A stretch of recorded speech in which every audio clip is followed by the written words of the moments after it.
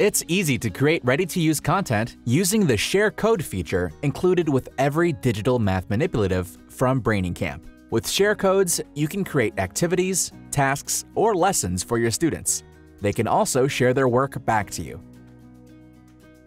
After logging in, choose a manipulative and create a task, lesson, or activity. It's important to note that generating a share code creates a unique copy of your content.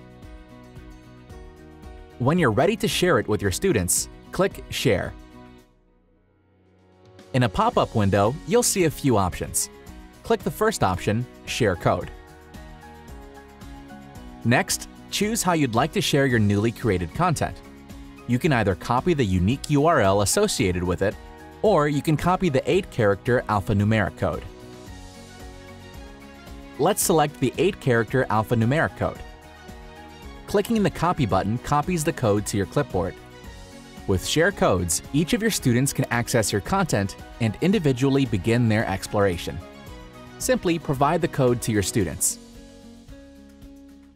To access your newly created content, students enter the code in the Share Code box. Students can now begin to explore and discover the content you created.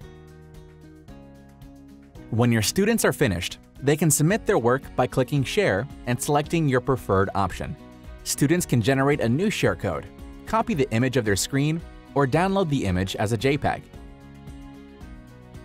Share codes remain valid as long as you have a Brainingcamp account.